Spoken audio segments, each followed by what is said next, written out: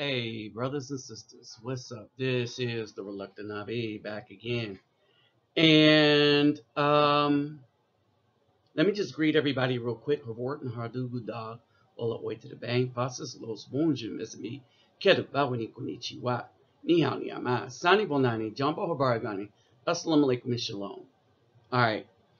And um, so they got a new Star Wars movie coming out. And right off the bat, we know it all sucks because of um, the reviews that are coming from around the rest of the part of the world. There are people that saw early screenings and say it sucks. Why? Because it maintains the same problems it's always had.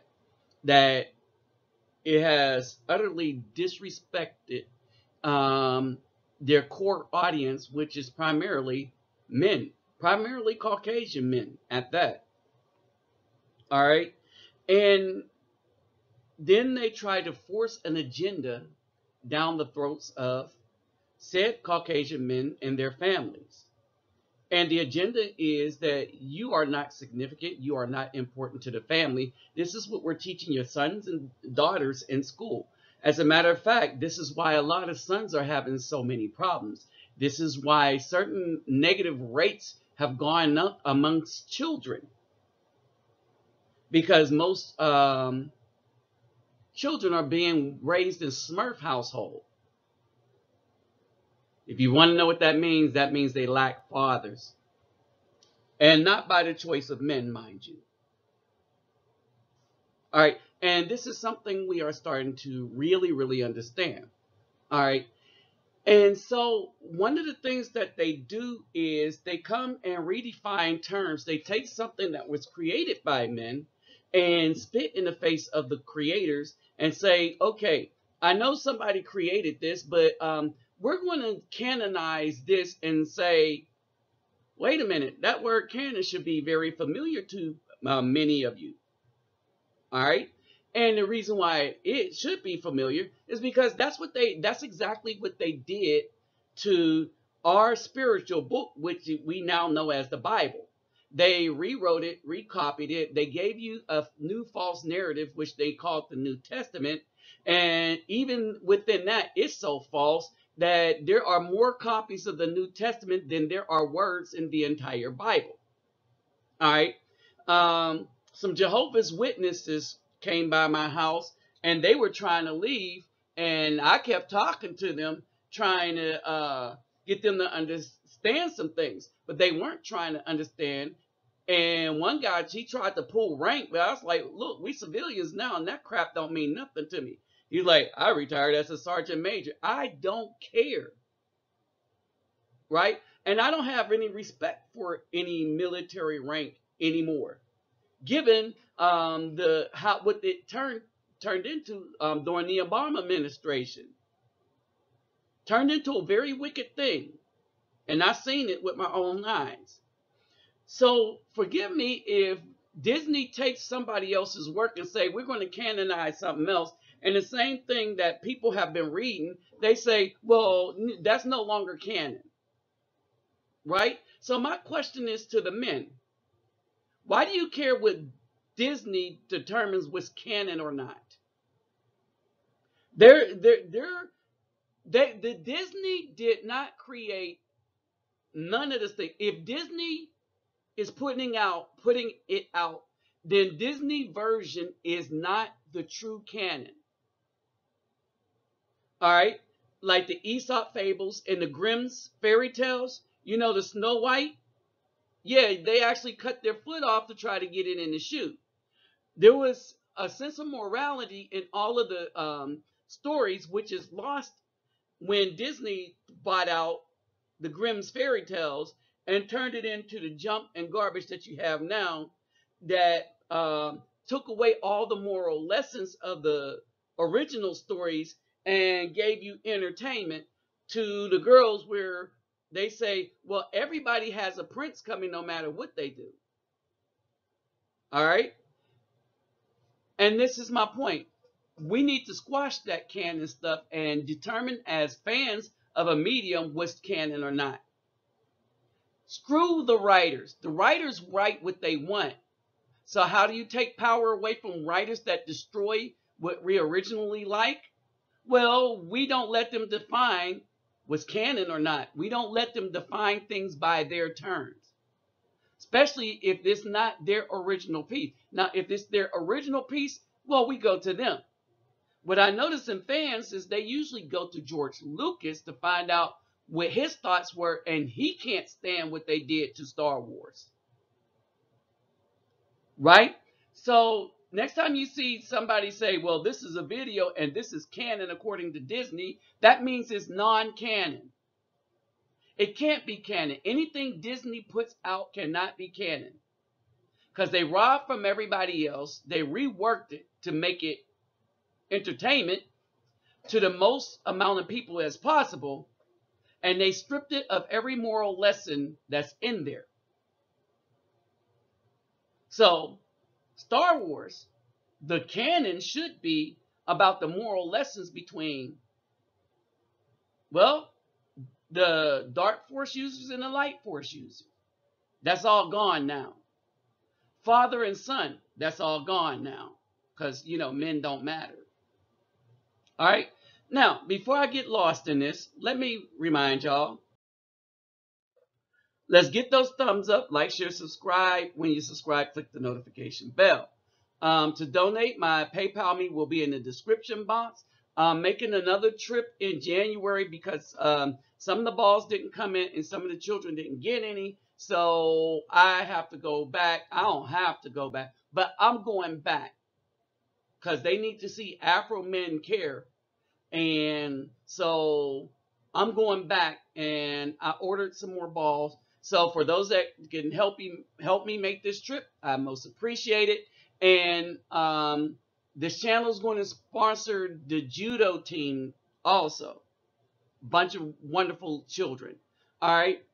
So if you want to see what's going on, check out my Facebook. I'm gonna put some pictures up over on there. There are some already.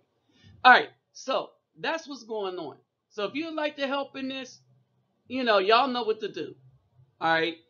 Um, and for those of you that have donated and would like for me to send you some stuff, because I brought some stuff back from Brazil, um, some keychains and stuff. If you would like one, um, send to my email, not to my messenger. Send to my email your address so that I can and put address in the subject line so that I can find you and send you the stuff.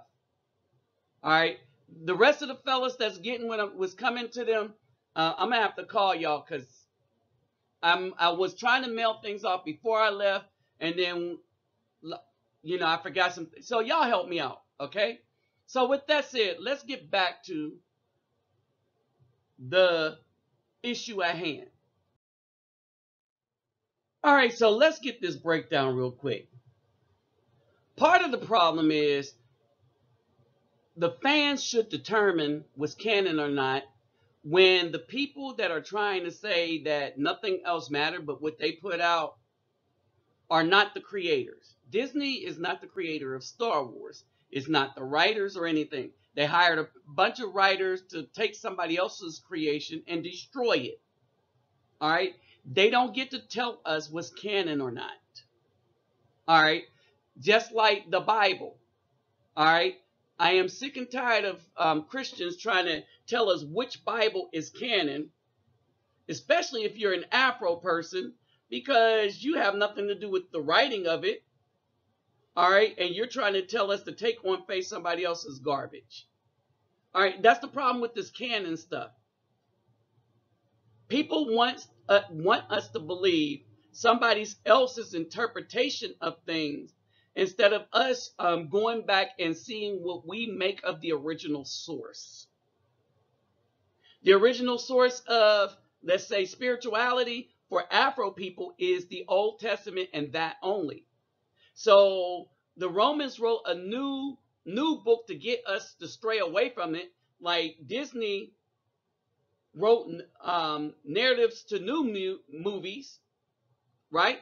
Uh, there's a parallel here. And then they warped in these new movies the whole subject matter of the old movies, the battle between good and evil, is good all the way good and is evil all the way evil. What is balance in the force? A lot of that stuff. All right, the good guys made some mistakes. They they erred in judgment out of fear, which they said they was going. You know, there it, it was a it's a deep, significant story. They shallowed it out and say, no men, we're going to damage this. We're going to make all men look like fools, and we're going to like make all the females look like well, intelligent geniuses that never make mistakes and learn things instantly, which couldn't be further from the truth. And it's dishonest. And so they have a bunch of children watching this, so they taught they're trying to teach the girls they're all super girls, and the boys that they're all idiots. That's the message that a lot of families are getting from Disney's rework of a lot of these movies. See what I'm saying? So who are they to determine what's canon when nothing that they own is of their own with the exception of Mickey Mouse, Donald Duck and all of that. But all the fairy tales, Sleeping Beauty, Snow White and stuff like that, Grimm's tales that they Aesop fables, which they stripped of the moral story and now you got the garbage fantasy land that so many females look forward to. All right. And then in this thing, even in everything that they do, it looks ridiculous. They couldn't even get real trained people to help train somebody to do something that looks so ridiculous. All right. We had good action scenes, but then they made those things where uh, make the male look like idiots and traitors. You see what I'm saying?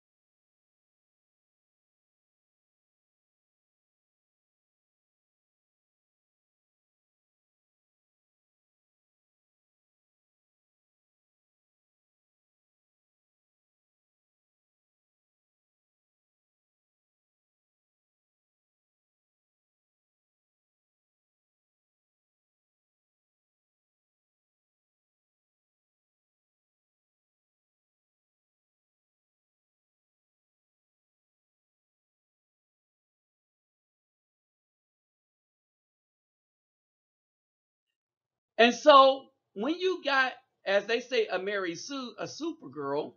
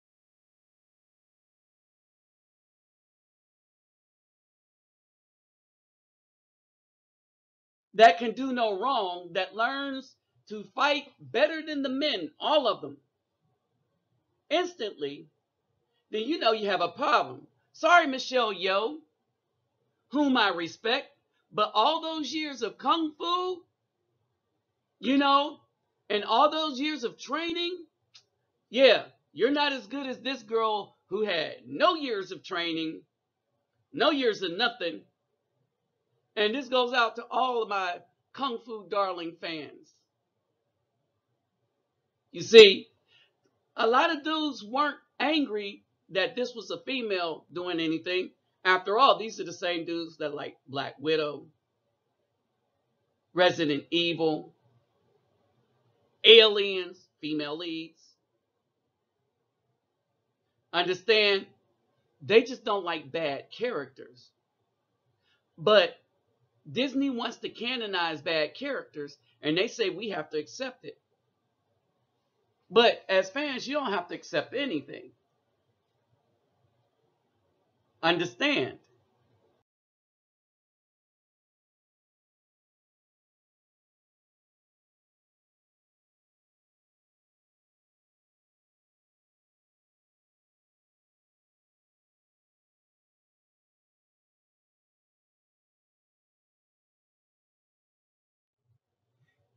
And so, as we try to make something out of all of this, we have to realize that even at this, towards the end of these movies, these people want to eliminate the idea of true manhood, self sacrifice, loyalty. And you got to understand what they did to the legacy of this the, the these movies. The legacy of the fans. The legacy of someone else's creation. Okay? And one of the things you got to realize is this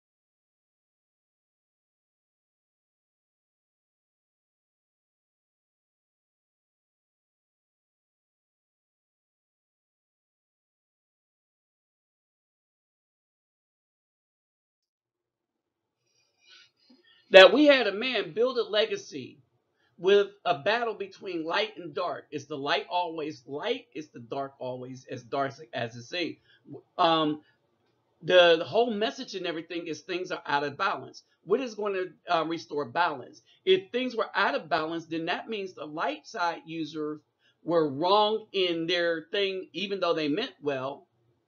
The dark side users were definitely wrong. And then comes along this boy who is the son of one of the biggest villains, but trained in a different way, has a different heart. Oh, wow. And so the, these men in their struggle for right and wrong educate this boy, and this boy becomes a man, and in his becoming a man, creates this balance that's left. But then this new thing comes along, says, no, this isn't about balance. This is about a new message on society. We're not trying to entertain people. We're trying to force a narrative down somebody's throat. And for the people that don't like that narrative, well, we're going to say that you're all kind of other names, and we're going to stop you from speaking. And there, there, I say, take away your right to speak, take away your rights to work, is because when you know these groups take over, they really take over worse than governments with dictatorships. So now we understand what would happen if girls actually ruled the world. It would be a dictatorship that would end up going into all out war. Civil wars, world wars, all of that is because people don't like being oppressed. And these girls would probably, and, and, and a lot of these people that's for this agenda are oppressing people intentionally to get their way. And they don't care about the consequences. Even with this movie that they say they wanted to be canon, they did not care about the consequences. Not at all.